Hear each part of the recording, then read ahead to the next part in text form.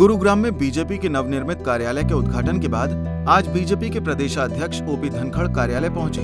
यहाँ उन्होंने करीब चार घंटे तक कार्यकर्ताओं के साथ मुलाकात की। धनखड़ ने कार्यकर्ताओं को संबोधित करते हुए कहा कि भाजपा कार्यालय बीजेपी कार्यकर्ताओं के लिए संस्कार स्थल है, इसलिए सप्ताह में एक दिन कार्यकर्ताओं को भी अपने इस कार्यालय में ज़रूर आना चाहिए। धनखड़ ने कहा कि प्रदेश कार्यालय में कार्यकर्ताओं को बहुत कुछ सीखने को मिलेगा। जिससे वो पार्टी के सभी कार्यों को और बेहतर तरीके से करेंगे, साथ ही उनके व्यक्तित्व का भी विकास होगा। तो अभी मैंने इसलिए शुरू किया है कि बाकी सब पार्टी पदाधिकारियों को भी ये दायित्व तो सौंपा जाए कि समय समय पर जो पार्टी के कार्यालय हैं, उसमें समयबद्ध रूप से सब बैठना शुरू करें। बैठने के दो प्रकार हैं। एक तो हमारा भिन्न भिन्न प्रकार का संगठनात्मक काम चलता है तो उसके लिए तो हम बहुत बार अलग अलग कैडर से मिलते रहते हैं। अलग अलग कैटेगरी के साथ बैठते रहते हैं। लेकिन ये जो आज के बैठने का दिन है ये सभी कार्यकर्ताओं के लिए है। तो महीने में एक दिन तीन कार्यालय हैं तीनों स्थानों पर आ, मैं बैठने वाला हूँ। अभी पंचकुला का कार्यालय तैयार हो गया है। यहाँ का तैयार हो गया रोहतक का हो रहा है। जब रोहतक तैयार हो जाएगा तो वहाँ भी अभी है एक पुराना कार्यालय। तो कम से कम महीने में एक बार जो है जो आसपास के ज़िलों के लोकसभा के जो भी कार्यकर्ता हैं वो आकर मिल सकें अपनी बात कह सकें। उनको एक अवसर मिलना चाहिए स्वतंत्र रूप से पता होना चाहिए तो इस दिन हम जा सकते हैं मिल सकते हैं।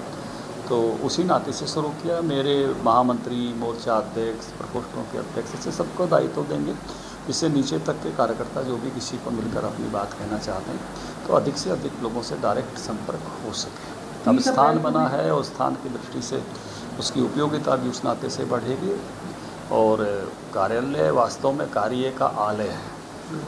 काम का घर जिसको कहते हैं, वो उस अपने सही अर्थों में चरितार्थ होगा। तीस तारीख को हमारे पार्टी के 200 बड़े नेताओं की बैठक यहाँ है। जिसमें सांसद हैं, विधायक हैं, मंत्रीगण हैं। इसमें पार्टी के जिला अध्यक्ष हैं, जिला प्रभारी हैं, प्रदेश के पदाधिकारी हैं, हमारे मोर्चा अध्यक्ष हैं, प्रकोष्ठों के अध्यक्ष से सब लोगों को बुलाया है। और हम, जो आठ साल पूरे होने वाले हैं मोदी जी की सरकार के 26 मई को, उसके निमित्त एक बड़ा अभियान ले रहे हैं। 21 लाख लोगों को हम प्रदेश में संपर्क करेंगे। ओपी धनखड़ ने कहा कि 30 अप्रैल को राज्य के करीब 200 प्रमुख नेताओं की गुरुग्राम में बैठक बुलाई गई है। बैठक में सभी सांसद, मंत्री, विधायक, प्रदेश पदाधिकारी और जिला अध्यक्षों समेत करीब 200 प्रमुख नेता शामिल होंगे। धनखड़ ने कहा कि 5 मई से 25 मई तक पार्टी सूचीबद्ध तरीके से 2 लाख लोगों से संपर्क करेगी। वहीं 26 मई को 19 लाख लोगों से सीधा संवाद करने का लक्ष्य निर्धारित किया है। धनखड़ ने कहा कि अपने इस अभियान के दौरान वो केंद्र और हरियाणा सरकार की योजनाओं के बारे में लोगों को जागरूक करेंगे। गुरुग्राम से मोहित कुमार, पंजाब केसरी टीवी।